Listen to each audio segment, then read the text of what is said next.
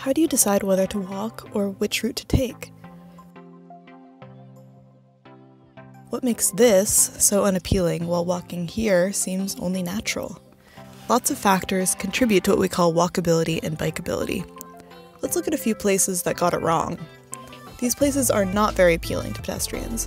These high walls mean low visual interest and no transparency.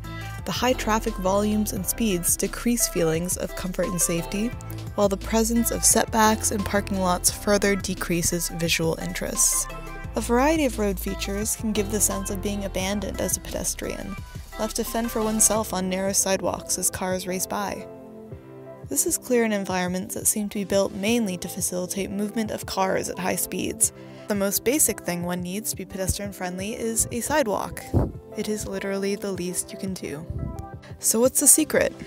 It often comes down to very simple practices. For one thing, places that are dense and host multiple uses and destinations are more enjoyable and feasible places to walk and bike. Many older cities formed this way before the implementation of zoning, and today many cities are trying to encourage this form of development by zoning to allow a mix of residential and commercial uses.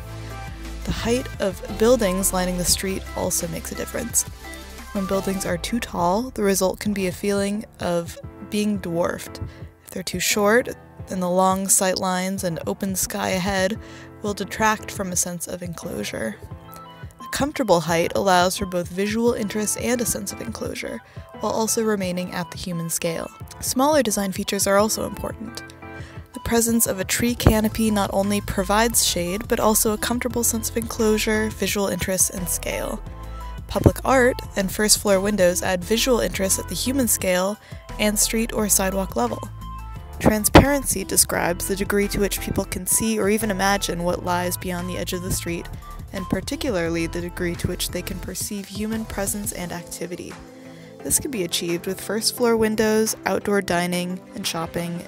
A street like this one, despite looking slightly apocalyptic during a winter snowstorm, shows a great priority for pedestrian activity in the sense of creating an interesting and a safe environment. This is done through the use of signage, diverse building shapes and colors, outdoor furniture, and greenery, and being closed off to cars. As many municipalities seek to reduce carbon emissions and improve public health, a good place to start is on the sidewalk. Many benefits accompany a population that walks and bikes, but to get there, planners and designers must give full consideration to the pedestrian or cyclist experience and the many small details that can make a big difference.